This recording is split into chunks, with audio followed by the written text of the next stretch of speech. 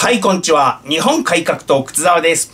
アナモニャン様、ご支援ありがとうございました。ありがたく頂戴して政治活動資金させていただきたいと思います。えー、情報提供ありました。1月15日12時、押上駅。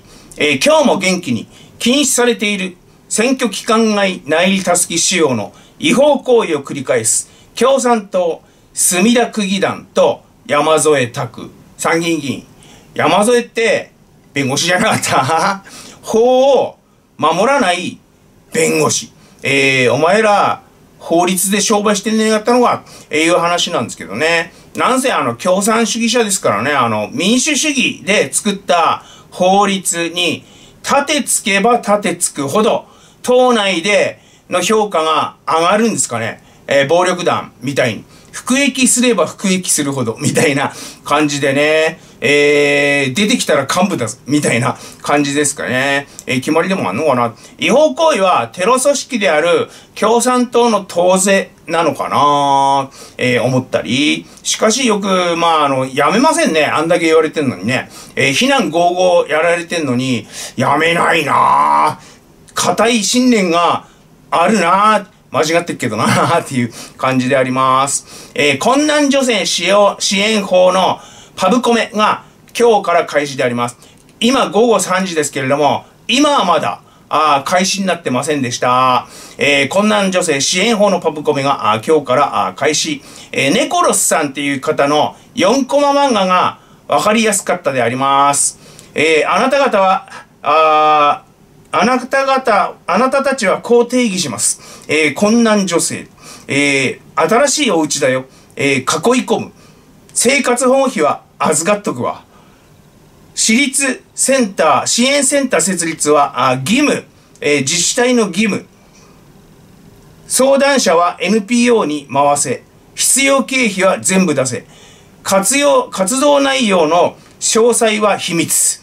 えー、新規団体はうちが決めるでやりたい方で。えー、これ、あの、持っておらず、全くこの通りの内容なんだから、恐ろしいですね。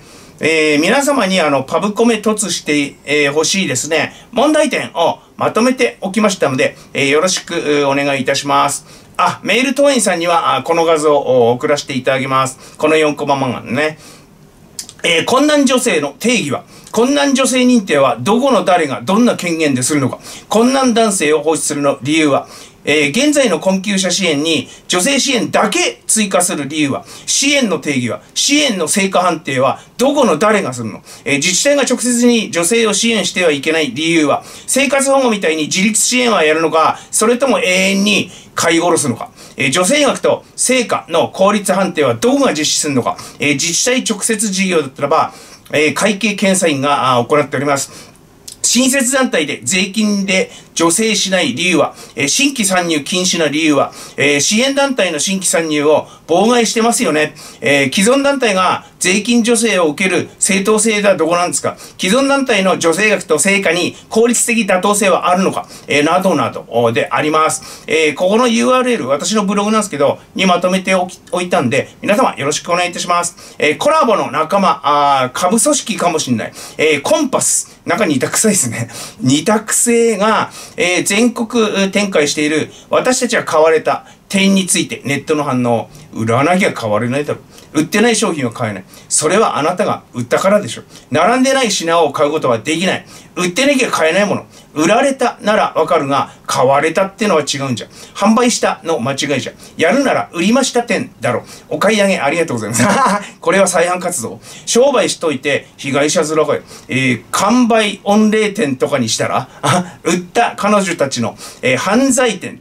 えー、皆様容赦ないっすね。私たちは稼いだ犯罪自慢なのかな。えー、そういえばですね、あの、風俗のあの、過去とかですね、日本人女性は隠しますけども、えー、つい近所の、あの、連中はですね、えー、そういう商売の像をですね、全国50カ所に立てて、崇めている。そうであります。えー、さらにはですね、私はあの、20代の頃はいくらいくらで売れたのよって、あの、自慢しちゃうっていうメンタルの違いがありますね。自分で売っておいて後から被害者するって、横の国が国を挙げてやってるあれそっくりですよね。えー、像まで立てて、神として崇めておる のですね。えー、ひょっとしたら私たちは買われた点っていうのは、あいくらいくらで売れたのよっていう自慢のためのイベントなのかなまあね、あのー、男が悪いって一方的に、買った男が悪いんだ。えー、被害者する、するための、あのー、洗脳、プロパガンダ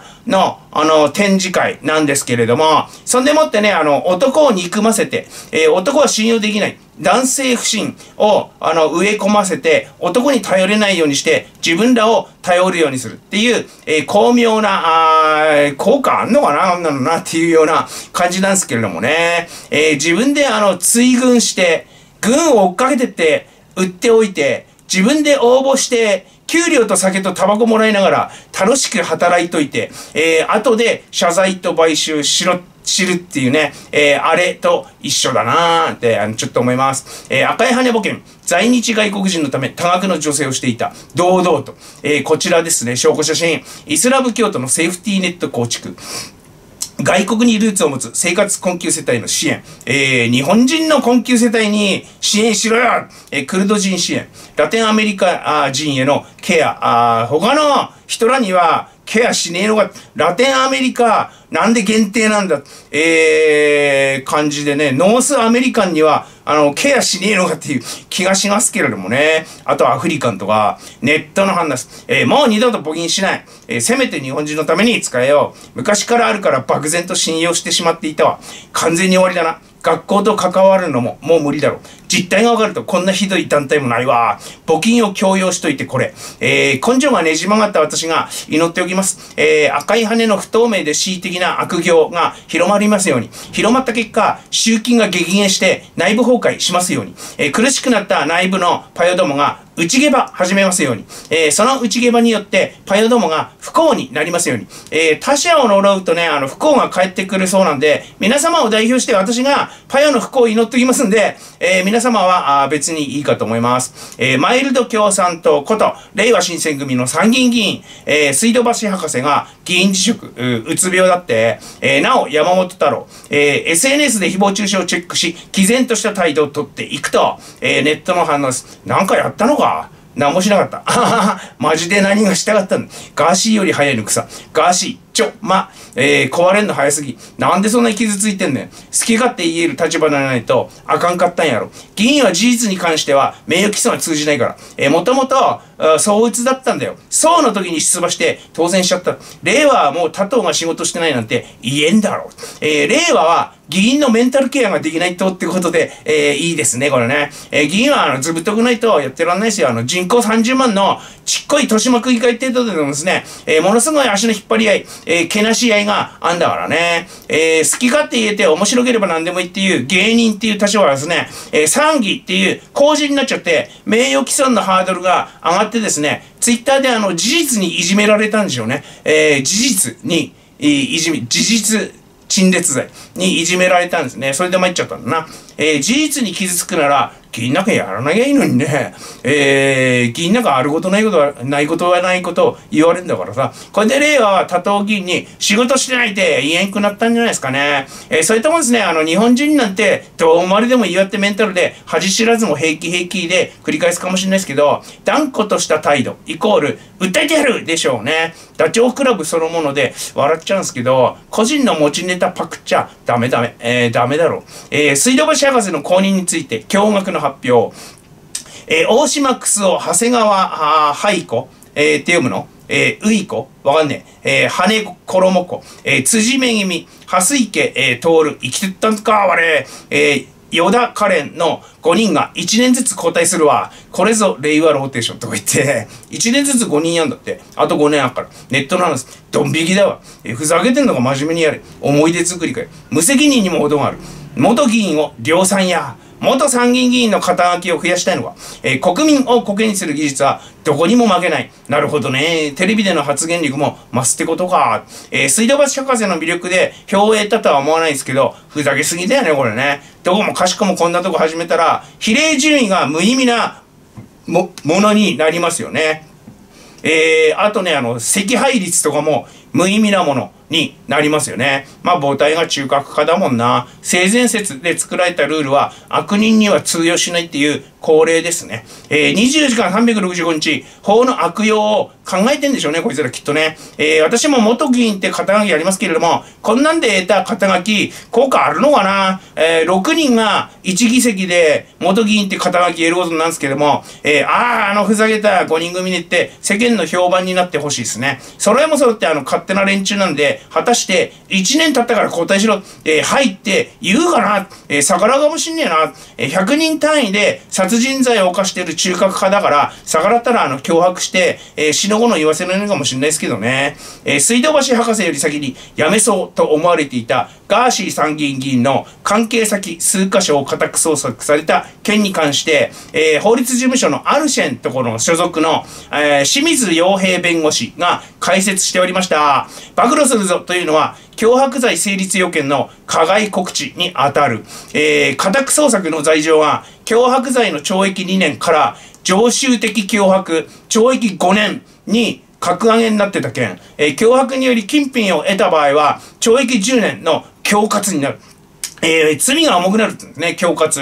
脅迫よりも、あの、脅迫によって金品を得るっていう恐喝の方が断然重い。えー、2年と10年ですね、ですもんね。えー、あとね、常習的脅迫って、えー、組織犯罪に使われる、あのー、用語で、普段は出てこねえんだって、えー、暴力団、ヤクザ。に使われる用語、えー、適用される用語、リツイートで拡散協力しただけでも有罪になった例も、切り抜き動画のアップロードは共犯、ガーシーの担当弁護士がペラペラ喋ってた、えー、そのあの罪状が常習的脅迫になってたっていうのはペラペラ喋っておりました。逆になぜ大丈夫と思ったのか。告訴状を出したのはトップ俳優や実業家、三木谷のことかな？えー、ガセだらけなのに有罪か。えー、常習的脅迫罪って組織犯罪処罰法で使う言葉やで、えー、関係先数箇所のガサ入れはですね、犯罪法上の関係かと思ってましたけれども、不自然な金の流れ、えー、脅迫相手から金が振り込まれてないかどうか、調べる意味もあったんでしょうね。えガーシーが動画を上げ続けられるのは、プラットフォームが協力してるからです。えー、暴露するじょで、脅迫罪を知と知りつつですね、えー、脅迫してんだこいつだって知りつつ、これを行いやすいようにお膳立てしたり、実行間接的に助けたりすると犯罪幇助になる。えー、なので、あの、つべは速攻バンしてですね、次々バンして断固復活させませんでした。犯罪幇助に、幇助になっちゃうからね、プラットフォームの提供で。しばらくあのガーシーが FC2 やってたんで、ここをあの、法上容疑でガサ入りしたのかなって思ってましたが、えー、違うのかな ?FC2 じゃないのかな？えー、ガーシーが有罪になったらですね、切り抜き動画で稼いでる連中はですね、共犯になります。犯罪と知りつつ、それで利益を得たってことで、えー、共同正犯。かっこ共犯。えー、犯罪とは知らなかったっていうのは通用しません。これ、この前。えー、N と立花はどうなんでしょうかね。脅迫が行われていると知りつつ、暴露で得た人気を議席獲得に利用したであるとか、議席獲得という当益を得た。えー、議席後、えー、議席獲得後も犯罪をやめさせず、えー、爪みたいに関係も立たなかった。ってことで、共犯、えー、有罪、執行猶予取り消し、えー、あのー、NHK への営業妨害と、二平ドンへの脅迫でね、えー、執行猶予ついてる、執行猶予取り消し、収容になる可能性はありますね、これ。なんないかもしれないけど。現職国会議員と江東代表を取れたら、検察、警察、大手柄でしょうね。えー、ニュースにもなんでしょう、ババンと、えー、頑張れ刑事さん。統一地方選の前に、えー、こうなってもらって、ババンとニュースが出て、えー、N 党の地方議員が何人討ち死にすんのかな影響で、えー、楽しみになってまいりました。えー、というわけで、メール党員さん、大募集であります。えー、立候補してくださる、えー、支部長さんも募集しております。動画説明欄、もっと見るをクリックして、そちらからご登録、ご応募ください。よろしくお願いいたします。デトックスジャパン。